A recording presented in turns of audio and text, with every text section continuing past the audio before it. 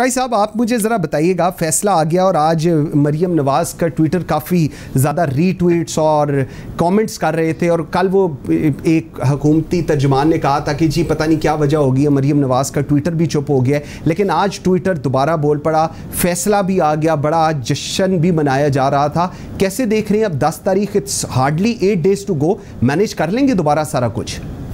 बिसमीम सबसे पहले तो सलाम डस्का सलाम मुस्लिम लीग सलाम मोहम्मद नवाज़ शरीफ और सलाम मरीम नवाज़ जिसने ये शूर दिया वहाँ पे और मोहम्मद नवाज़ शरीफ के बयानी के मुताबिक आप ये देखें कि बस स्टेशन हो या रेलवे स्टेशन हो एयरपोर्ट्स हो वहाँ पे एक तख्ती लिखी होती है हम्म। उसके ऊपर लिखा होता है बड़े बड़े हरूफ से कि सवारी जो है अपने सामान की हिफाजत खुद करे, करे। और बिल्कुल इसी तरह से मोहम्मद नवाज़ शरीफ ने लोगों को ये मैसेज दिया और ये बजरिया मरीम नवाज़ पाकिस्तान की आवाम तक पहुँच गया है। वोटर ने अपने वोट की हिफाजत खुद करनी है। और डस्का नंबर ले गया। डस्का को सलाम कि डस्का ने अपनी हिफाजत करके बता दिया है। अब बात जो है ना वो इन ताला हम ये समझते हैं हम्म। कि पाकिस्तान में जो हम कहते हैं कि आज़ादाना मुनसिफाना इलेक्शन शफाफ इलेक्शन करवाए जाएँ।